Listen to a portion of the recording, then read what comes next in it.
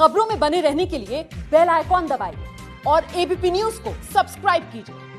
और अब एक चौंकाने वाली खबर पुलवामा हमले जैसे ही एक हमले की साजिश का बड़ा खुलासा किया है सुरक्षा एजेंसियों ने।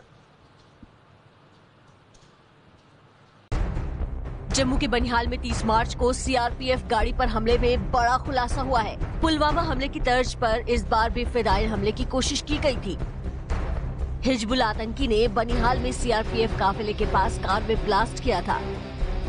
कार में बैठे फिदाइन आतंकी ओवैस अहमद मलिक को सुरक्षा बलों ने गिरफ़्तार किया है। इस आतंकी ने हमले को लेकर कई बड़े खुलासे किए हैं। इसको जब पकड़ा गया तो इसके कुछ बर्न मार्क को इंजरी मार्क भी ब्लास्ट की वजह से इसकी बॉडी के ऊपर है।